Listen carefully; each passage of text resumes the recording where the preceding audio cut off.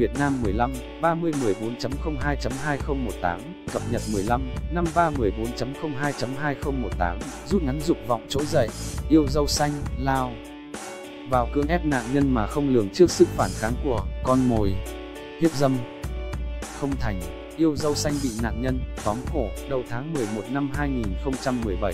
Nguyễn Hoàng Minh, 35 tuổi, ngụ xã Trung Hòa, huyện Trảng Bom, Đồng Nai, chạy xe máy đến cửa. Hàng của chị T.T.N.D, 39 tuổi, ngụ xã Tây Hòa. Thấy chị D, chỉ có một. Mình và xung quanh khá vắng người nên Minh nảy sinh ý định hiếp dâm chị. D, nghĩ là làm, Minh dùng vũ lực khống chế, ép chị D, cho quan hệ. Tuy nhiên Minh đã bị chị D, chống cự quyết liệt. Thấy, con mồi, khỏe, Minh, từ bỏ ý định và nhanh chóng tháo chạy ra cửa lên xe máy để tẩu. Thoát, nhưng ngay lập tức, chị D đã khống chế đối tượng lại và cầu cứu. Người dân xung quanh trợ giúp, Minh bị bắt giao cho công an, dở trò đồi. Bại bất thành, yêu dâu xanh, bị nạn nhân đâm chết tối ngày 17 tháng 12 năm 2017, Vàng Văn Thường. SN 1992, trú tại xã Bản Nhùng, Hoàng Su Phì, Hà Giang, đến nhà chị Vàng.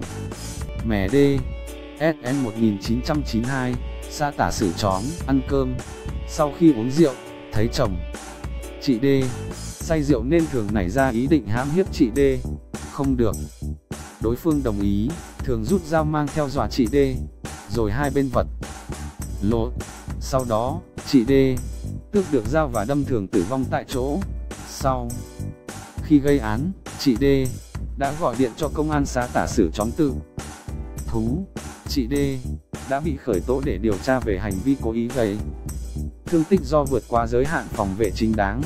Theo người dân địa phương, chị D là một phụ nữ hiền lành, có ba con, con chồng chị này là thôn đội trưởng, Con thường vốn thần kinh không bình thường và hay đi lang thang.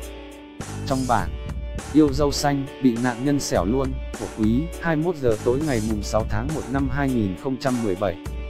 Người dân xã Phú Hữu, huyện An Phú, tỉnh An Giang nghe tiếng chị CH 40 tuổi la lớn tiếng, ông Pi, chung mùng tui, vừa chi hô, chị CH, đạp xe, đạp đến nhà người thân nhờ báo đến công an xã việc ông Pi, qua giờ, trò đổi bại, rồi bị cắt, của quý, cán bộ điều tra công an huyện An.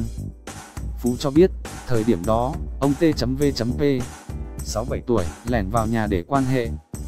Tình dục với chị CH. Phát hiện sự việc, chị này giả vờ đi tiểu rồi. Ra sau bếp lấy cây kéo. Lúc này, ông Pi đi theo sau định thực hiện hành vi giao cấu với chị. Thừa lúc ông Pi sơ hở, chị CH lấy kéo cắt đứt một phần dương vật của ông Pi, rồi nhờ người thân báo công an. Sau đó ông Pi được đưa đến bệnh viện cấp cứu. Nhà ông Pi và chị CH cách nhau chưa đầy 2 mét. Trước khi xảy ra sự việc, ông Pi hay đi dạo quanh xóm nhậu lai dai. Mỗi lần có rượu trong người là ông lại nổi máu, dê, mấy bà hàng xóm. Nguồn, dân Việt, NLD